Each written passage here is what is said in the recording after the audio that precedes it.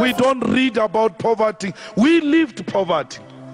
We are children of domestic workers. We know what it means to go home and don't find a meal.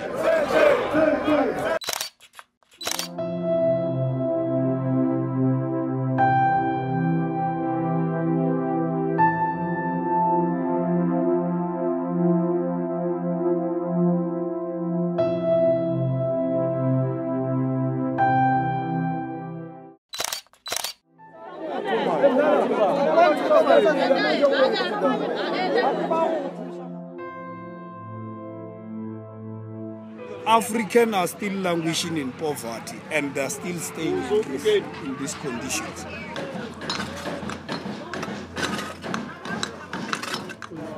We have tried to sit in the boardrooms, we have give mandates and everything, we have sub- submitted memorandums, but no answers.